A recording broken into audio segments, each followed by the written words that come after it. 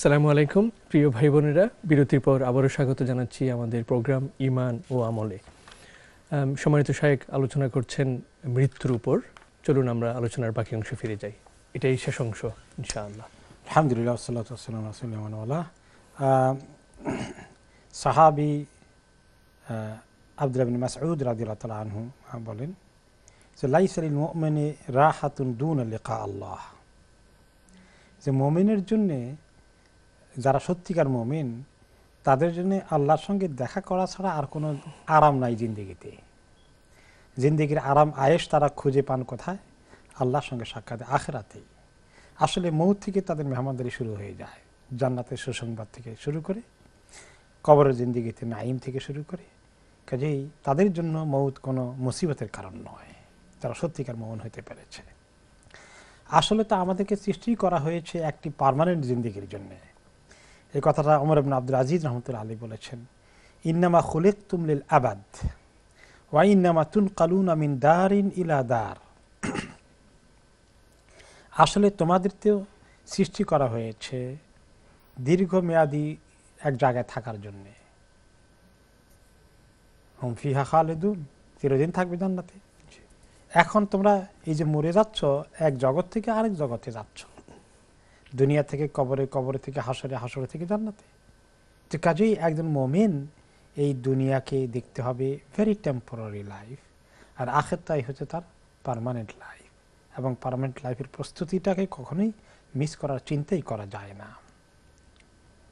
মালিক ইবনে মিগুল রহমতুল্লাহ আলী বলেন, বালাগানি আন আউয়ালা সুরুরিন ইয়াদখুলু আল মুমিনুল মাউত লিমা ইয়ারা মিন কারামাতিল্লাহি মুমিনের জীবনে মানে তার দিল খুশি দিল খুলে হাসি খুশি সে তার মধ্যে আসবে মৌতের পর থেকেই। কারণ সে দেখবে যে তার সামনে এরপরে কি নিয়ামত অপেক্ষা করছে। এই জন্য যারা নেককার মৃত্যু হয় তাদের আলামতের মধ্যে আমরা পড়েছি এখানে আলোচনা বোধ করেছি হয়েছে। যে তাদের চেহারায় একটা হাসি লেগে থাকে।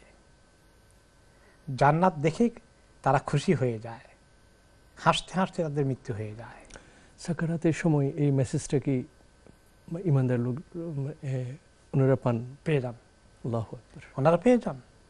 এবং জান্নাত যখন দেখানো ওই যে তোমার জান্নাত দেখো সেটা দেখার সঙ্গে একটা মুখে হাসি চলে আসে। যদিও সাকরাতের কষ্ট আছে। এই জিনিসটা এমন কাছাকাছি কেউ কেউ এক্সাম্পল দিয়েছেন যে মা যখন প্রসব বেদনা চিৎকার করতে থাকে আর সেই চিৎকার অবস্থায় চট করে যখন বাচ্চারা দূরেতে চলে আসে তার চেহারা দেখলেই মায়ের মুখে কষ্টের ভিতরে হাসি ফুটে বিউটিফুল এক্সাম্পল মাশাআল্লাহ রাইট এই জন্য যারা দায়ী আছেন তারা কি করেন? চট করে আগে বাচ্চাটাকে বের করে নিয়ে যান না। আগে মাকে দেখান। দেখো দেখো এই যে দেখো সুবহানাল্লাহ, এত কষ্টের মধ্যেও তখন হাসি জি। সুবহানাল্লাহ। এরপরে এখন আসলো যে কেউ মৌতে তামান্না করবে কি না মরে যাওয়ার জন্য তামান্না করা কি ঠিক হবে? এটা ঠিক হবে না। এই পয়েন্টের আলোচনা এখন আমাদের চলবে। যে হাদিসে রসুল্লাহ সাল্লাম বলেছেন লা ইয়াতামান্নায়ান্না আহাদুকুমুল মাউত। ইম্মা মুহসিনান ফালা আল্লাহু ইয়াজদাদ ওয়া ইম্মা মুসিআন ফালা আল্লাহু ইয়াস্তাতিব তোমাদের কেউ যেন মৌতের তামান্না করো না যে আল্লাহ আমাকে মৌত দিয়ে দেন আমি মরে যেতে চাই। এরকম বলো না। যদি সে নেককার হয় তাহলে আর একটু হায়াত পাওয়া গেলে তার জন্য নেক আমল আরও বেড়ে গেল। জি। আর যদি সে গুণাগার হয়ে যায় হয়তো বা আল্লাহ তালা তাকে তবর নসিব করে দিলেন। তবা করে যদি সব গুণা মাফ করে নিতে পারে শুধু তো হাত ছাড়া হয়ে যাবে। কাজে তুমি মরতে চাও কেন? দুঃখ বেদনার মধ্যে মরতে চেয়েও না। মরার তামান্না করো না। কিন্তু মৌত এসে গেলে তখন তো তোমাকে যেতেই হবে। এই হাদিসটি আরেকটি লম্বা রেওয়ায়ত এসছে। লাই তামান্নায়ান আহাদকুমুল মাউত তোমাদের কেউ যেন মৌতের তামান্না না করে। ওয়ালা ইয়াদা বিহি মিন কাবলি আন ইয়াতিয়াহু মৌতের জন্য আল্লাহর কাছে দোয়াও করেন না যেন যে আল্লাহ আমাকে মৌত দিয়ে দেন। মৌত আসার আগে এই দোয়া যেন না করে। ইন্নাহু ইদা মাতা ইনকাতা আমালু কারণ সে মরে গেলেই তার আমলের রাস্তা তো বন্ধ হয়ে গেল। জি। ওয়া ইন্নাহু লা ইয়াজিদুল মুমিনা উমরুহু ইল্লা খাইরান। মুমিনের একটু বেশি হায়াত পাওয়া তার জন্য ভালো ছাড়া আর কোনো ক্ষতি নেই। ক্ষতি নেই। তবে অনেকে মুসিবতে পড়ে যায় খুব দুঃখ কষ্ট আর সহ্য করা যাচ্ছে না। তখন অনেকেই মৌতের তামান্না করে বাসে। সেক্ষেত্রেও আমাদেরকে নিষেধ করা হয়েছে। আসাবাহ তোমাদের কোনো কষ্টে মুসিবতে দুঃখে পড়ে গেলে খবরদার এই দুঃখ থেকে বাঁচার জন্য মৌতের তামান্না করো না।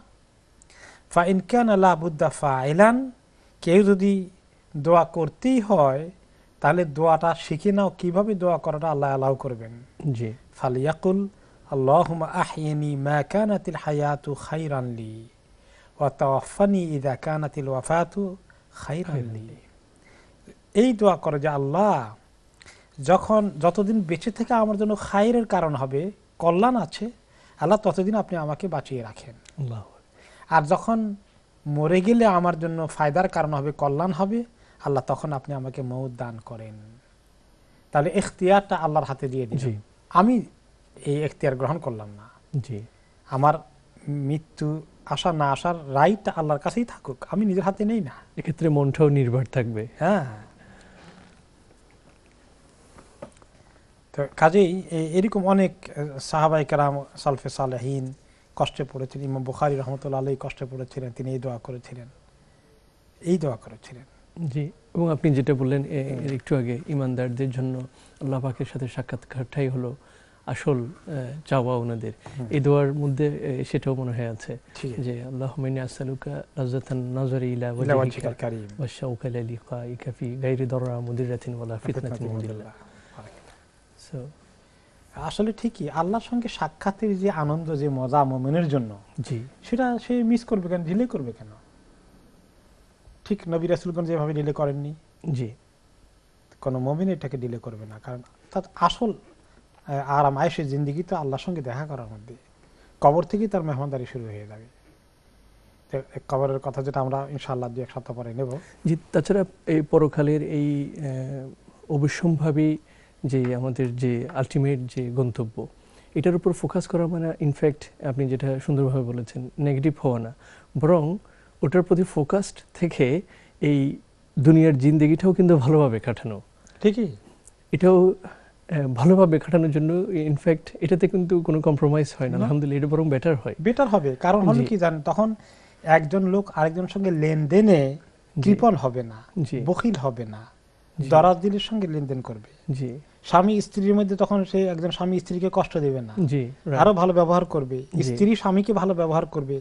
কারণ আমি মরে গেলে তো আমি এটার পুরস্কার পাবো। প্রতিবেশীর সঙ্গে ভালো ব্যবহার করবে। জি। ছেলেমেয়ের দায়িত্ব বেশি করে পালন করবে। জি। যে আমি তাদেরকে মানুষ করে যাই আমি নেককার বানিয়ে যাই আমি চলে গেলে। আমার জন্য দোয়া করবে। জি। তাহলে মৌতের চিন্তা একটা লোককে নেগেটিভ করে কেন? এটাই। এ পজিটিভ করে। জি পজিটিভ এখানে একটা পয়েন্ট আছে কোনো কোনো সময় শয়তান মানুষ শয়তান খুব চালাক। মৌতের চিন্তা ঢুকিয়ে দিয়ে ডিপ্রেশন নিয়ে আসে। এবং আমি এমন লোককে পেয়েছি যারা মৌতের চিন্তা করে হারে আমি তো মরে যাব আমার কি হবে? আমি তো আমল করতে পারি না এই পজিটিভ থেকে শুরু হয়েছে পরে তারা নেগেটিভ হয়ে গেছে। রাহমতের উপর তখন তারা প্যানিক অ্যাটাক এসে গেছে। ওই জিনিসটাকে শয়তান ঘুরেই দেয়। পজিটিভ থেকে নেগেটিভ করে দেয়। তো আমাদেরকে পজিটিভ থাকতে হবে যে আমি আমার সংসারে দায় দায়িত্ব পালনকে আমি উপেক্ষা করব না। কারণ আমি যে পালন না করি আল্লাহর কাছে আমি ধরা খাব। ওটা আমার নেই কেবল জি। তাই না? জি। তো এই জন্য শয়তান যাতে সুযোগ না নেয়। আল্লাহর কাছে প্রত্যেকটি আমলের জবাবদিহি করতে হবে আমাদেরকে। প্রত্যেকটি আমল নেক আমল হবে। বাজার ঘাট করা সন্তানকে লেখাপড়া করানো চাকরি করতে যাওয়া নেক আমল হবে। হ্যাঁ স্ত্রীর সঙ্গে শারীরিক সম্পর্ক স্থাপন করাটা আমার নেকির কারণ হবে। আল্লাহু আকবার। তাহলে একজন একজন একজন মমিন কীভাবে নেগেটিভ হবে? কখনো না। কারণ সে তো নেকি জোগাড় করার তালে আছে। জি। খায়ের সম্মানিত শায়েখ আপনার সুন্দর অত্যন্ত প্রাণবন্ত আলোচনার জন্য। প্রিয় ভাই বোনেরা আপনারা শুনেছেন সম্মানিত শায়েক কোরআন থেকে রেফারেন্স দিয়ে একটা আয়াত থেকে বলেছেন মৃত্যুর পরে আমরা আফসোস করব আমরা আম, যদি একটু হায়াত পেতাম, আমাদের জীবনে আমরা সাদাকা করে আসতাম, ভালো কাজ করে আসতাম। আসুন আমরা ভাবি, আল্লাহ পাক আমাদেরকে সেই সুযোগটা দিয়েছেন। এই জীবনটাই আল্লাহ পাক আমাদেরকে দিয়েছেন ওই সেকেন্ড চান্স হিসেবে। আমরা এটাকে প্রতিনিয়তই আমরা প্রতি মুহূর্ত যতটুকু পারি, আমরা কাজে লাগানোর চেষ্টা করি। আল্লাহ আমাদের সকলকে এই তৌফিক দান করুক। ইনশাআল্লাহ আগামী পর্বে আপনাদের সাথে এই সময়ে দেখা হবে। এই আশা রাখছি। আপনারা সবাই আল্লাহ আপনাদের সকলকে ভালো রাখুক সুস্থ রাখুক। আসসালামু আলাইকুম ওরহমতুল্লাহি ওবরাকাতুহু